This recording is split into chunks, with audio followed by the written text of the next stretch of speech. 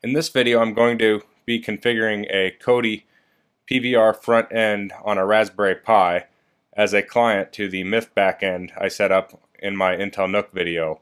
I'll put a link in the description to that uh, Intel NUC MythTV build I did. Um, you'll probably want to watch that uh, before you watch this video so this makes sense.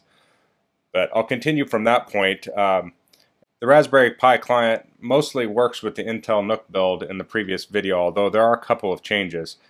I'll need to open up a terminal on the Intel NUC, and I'll have to type in sudo gedit slash etc slash mysql slash my.cnf.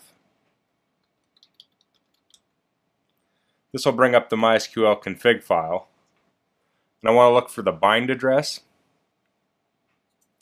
and I need to comment that out. This will allow MySQL to accept remote connections. I'll save that and close it. Then you need to restart the MySQL server so you can say sudo service MySQL restart.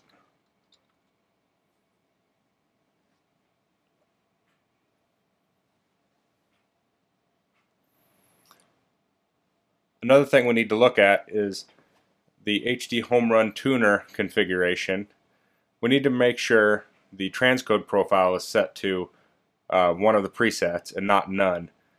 The transcoding will re-encode the video into MPEG-4, which the Raspberry Pi supports.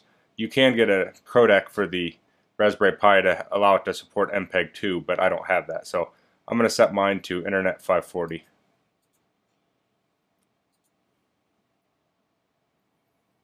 Okay, next I'll transfer over to the Raspberry Pi and uh, we'll work on the configuration.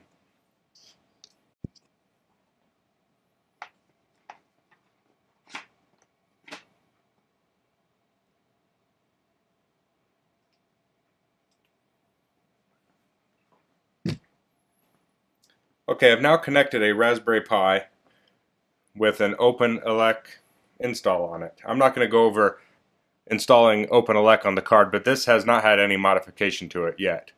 Um, so this is a native uh, OpenELEC build. The Raspberry Pi I'm using is a Raspberry Pi 2B, and this is the uh, 1 gigabyte version with the quad-core processor.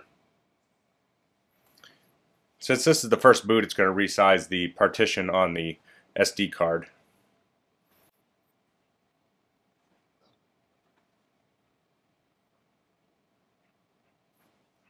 So this is the initial setup of the OpenELEC Kodi build.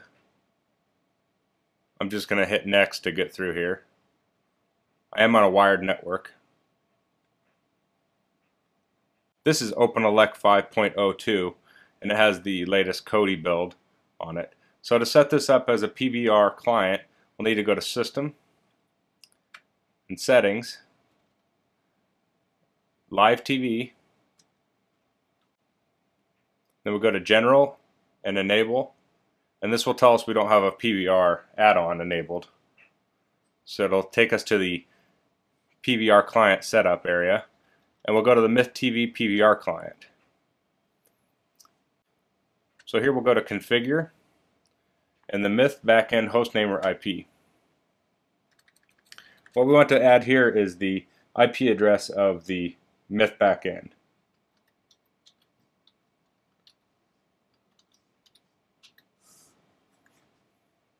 Now we're using the API method of connecting this PVR client to the Myth backend. So we have a security pin here, which I've left as default on the Myth backend, but if you did change it on the backend, you'll need to change it here. And of course, you'd need to change the ports if you modified those, but this is going off my previous video, and I didn't make changes of those. So I'll hit OK here.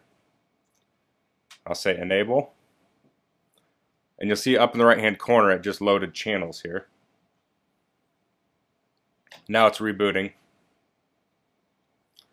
And if I go to TV and EPG or Electronic Programming Guide, you'll see it has all the programs on here.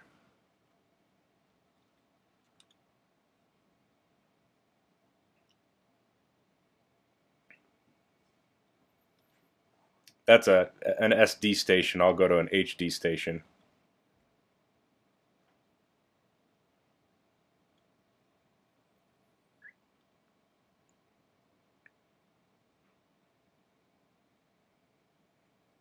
This is only a 10 uh, a 720p monitor, so uh, I'm not going to be able to demonstrate 1080p on here, but it does work with 1080p.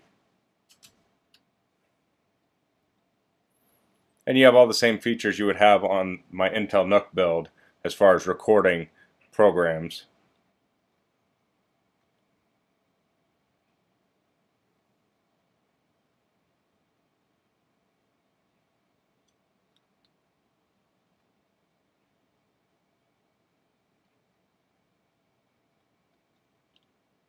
We can hit record here.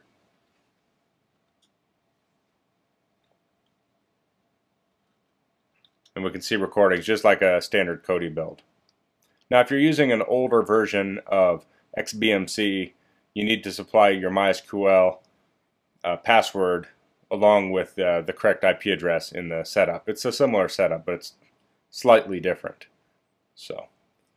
I don't have any audio on here either because the monitor doesn't have audio, but if you have HDMI audio, that should just automatically work.